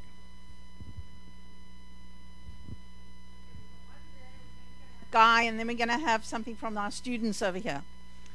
Hi, I'm Keith Patacci. I'm not in academia, but I think as a practitioner, I mean, something that occurs to me is that everyone's discussing this, or, or most people are, from the perspective of teachers. And I think in order to really teach people how to become great programmers, you do need to get down to the concepts and teach people those concepts. But I think in order to get people excited about the material, a lot of times you need a totally different approach, which is something that can be applied right away.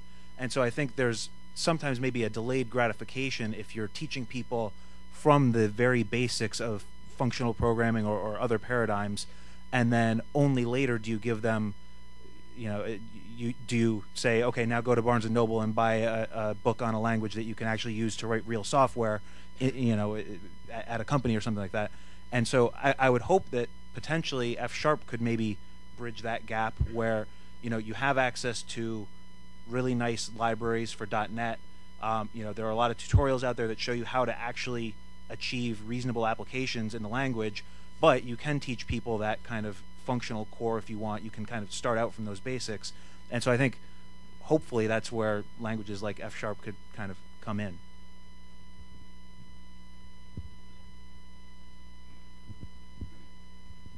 I'm Guy Blelloch from uh, Carnegie Mellon, um, and one of our uh, original motivations for really emphasizing functional programming early in our curriculum was uh, to add parallelism. So our goal was to add parallelism right from the start, parallel thinking.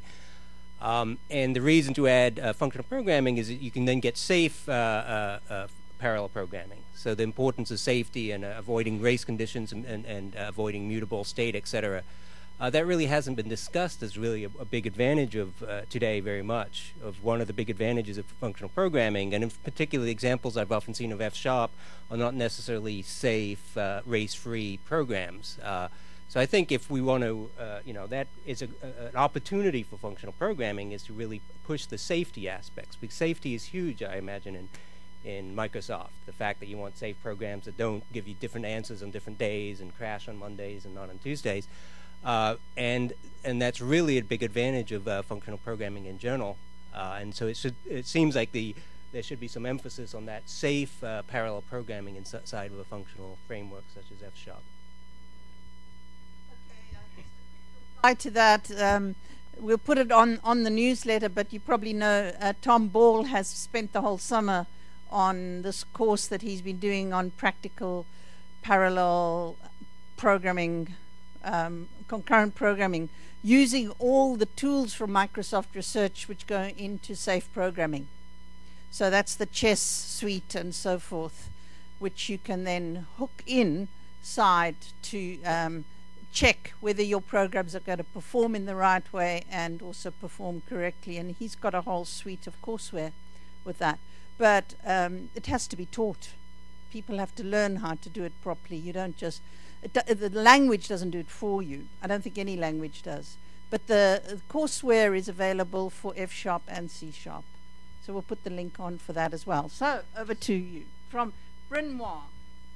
Hi, I'm Christina. I'm a sophomore at Bryn Mawr, and I'm a computer science major. And I took AP Computer Science in high school, and I don't think it helped me at all. Um, as far only like loops, that's pretty much it. I remember that's pretty much what I remembered. But um, for the most part, most of my classes that I've taken so far have been taught using Python. And I was just wondering, like, how do I transition from like just learn how knowing Java and like Python into like because I wasn't taught in a functional language to begin with. So how do I move forward from that and like improve my programming skills? So the, the question really was if you if you're one of the people who is now non-functional and is going to move into the world what, what what what is what is the lifeboat okay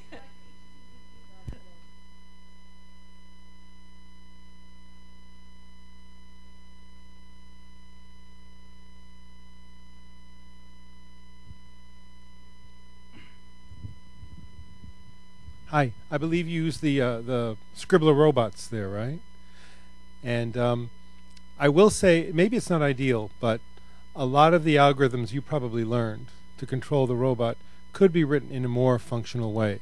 Uh, we've had a lot of talks recently about the fact that there's structural recursion versus other kinds of recursion. And this isn't structural, this is commanding a robot, which is basically a, a stateful thing. But we do, a, we do Python in our first two courses and we, we don't have robots, but we, we have you know a drawing program, a turtle. And I you know I don't know what to tell you to do, except I guess I could send you to our websites and you could do our labs.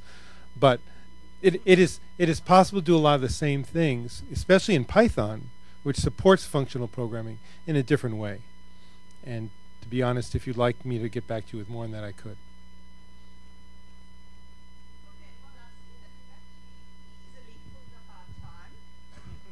And it is very traditional that that all the uh, panelists uh, get to say something. Um, but uh, shall shall we forego that and go and have coffee? Yes. Thank you, everybody.